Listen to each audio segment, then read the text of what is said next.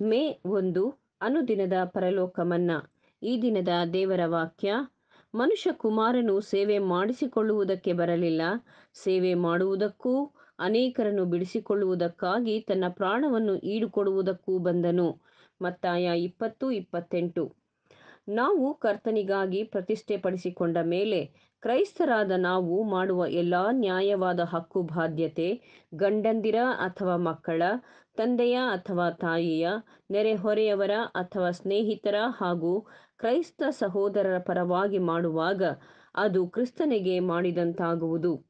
ಆದರೆ ಇದೇ ಸೇವೆ ಬೇರೆ ಇನ್ನಾವುದೋ ಉದ್ದೇಶದಿಂದ ಮಾಡುವುದಾದರೆ, ಅಂದರೆ ಅವನು ಕ್ರಿಸ್ತನಲ್ಲಿ ಪ್ರತಿಷ್ಠೆ ಹೊಂದದವನಾಗಿಯೂ ನೀತಿವಂತನೆಂಬ ನಿರ್ಣಯ ಹೊಂದದವನಾಗಿದ್ದರೆ ಅವನು ಮಾಡುವ ಸೇವೆ ವ್ಯಕ್ತಿಗೆ ಸೀಮಿತವಾಗಿರುವುದಲ್ಲದೆ ಕರ್ತನಿಗಾಗಿ ಅಲ್ಲ ಇವುಗಳು ಯಾವುದೂ ಕರ್ತನ ಹಿಂಬಾಲಕರಿಗೆ ತಾವು ಮಾಡಿದ ತ್ಯಾಗ ಎನಿಸಿಕೊಳ್ಳದು.